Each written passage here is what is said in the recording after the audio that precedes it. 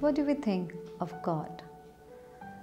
To some, it may not be a topic at all because they may say, We don't believe in God. Accept it. But there are many more who say, Yes, we believe in the very existence of God. And they kind of sometimes term themselves as God fearing and they make God appear like a control freak who con- controls everything around us and punishes if we don't behave or we don't behave in a certain manner. That is, if we don't follow a certain way of life. I'm not going to get into the religions and all. With due respect to all of them, we just focus on God, the Almighty, the Source, the Creator. It is actually the power of creation that is within all of us.